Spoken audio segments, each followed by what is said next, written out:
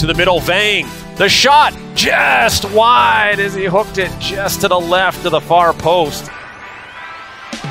Back for Santos. And now Wilson with some space. Wilson curls it around the head and a goal. The Friars leading this one 1 0 thanks to the header from Christopher Roman.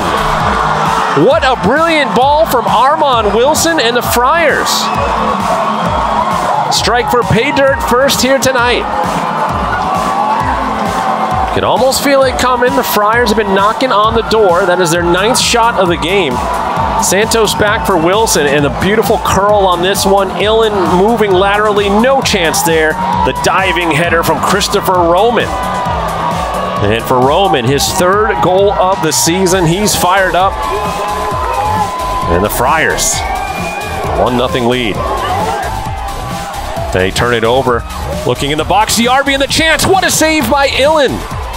They're able to get around Montuti ahead for Diarby and Diarby into the area. The shot and a save from Illan.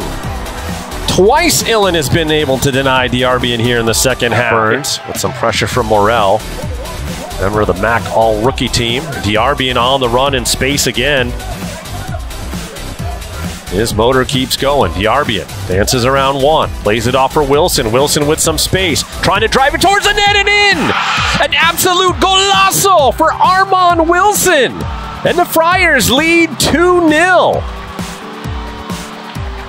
Not much Sam Illen could do there to stop that blast from Armand Wilson.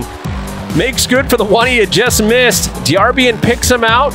Wilson takes the touch and just absolutely lasers this one into the upper portion of the net.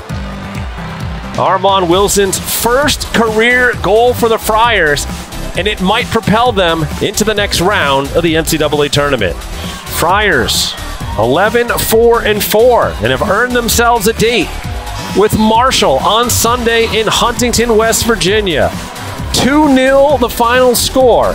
Goals from Christopher Roman in the 40th minute and Armand Wilson in the 67th. The difference tonight. And a fantastic season for Marist comes to an end at the hands of the Friars.